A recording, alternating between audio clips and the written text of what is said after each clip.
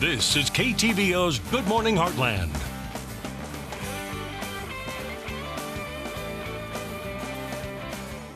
Welcome back. Life insurance can help pay off debts and loans to provide surviving family members with the ability to move on with a clean slate. It can help keep homes and set up a child's education fund, yet 95 million adult Americans do not own any life insurance. Joining us today to talk about its importance is David Bethel, the co-owner of Financial Planners of Missouri. How are you doing? I'm good. It's uh, September is Life Insurance Awareness Month. That's not as cool as National Hat Day.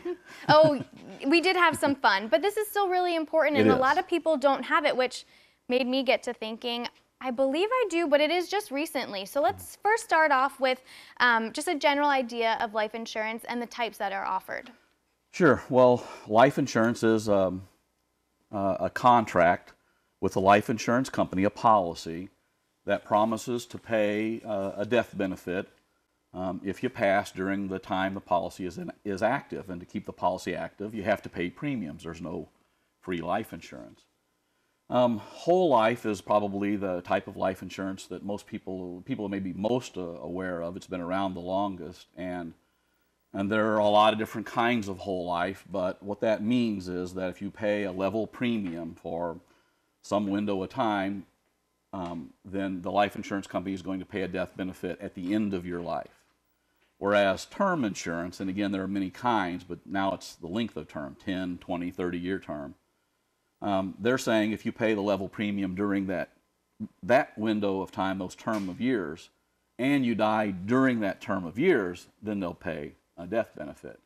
And of course, to make it more complicated, there's universal life, which has some of the characteristics of both term and whole life. So a lot of options for people to choose from. Now, when should people go about looking into life insurance and getting their own?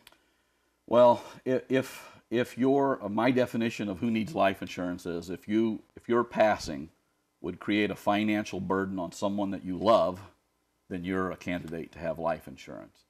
Um, when you're married, if your spouse would depend on some or all of your income to support their lifestyle, um, for many people that's the first time that they create a need to have uh, life insurance. Of course, when kids arrive, um, it's more exacerbated, but it doesn't uh, mean that there's not still a need.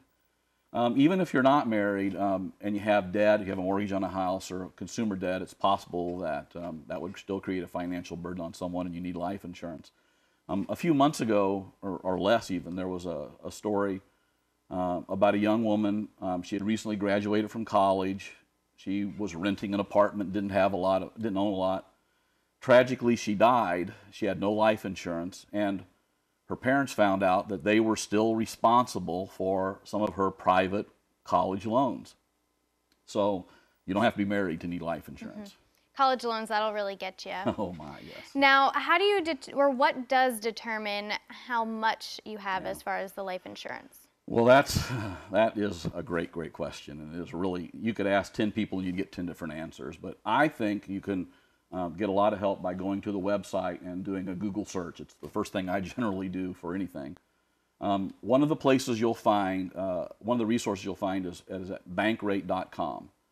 Uh, and it's good for a lot of things, but it has a life insurance calculator.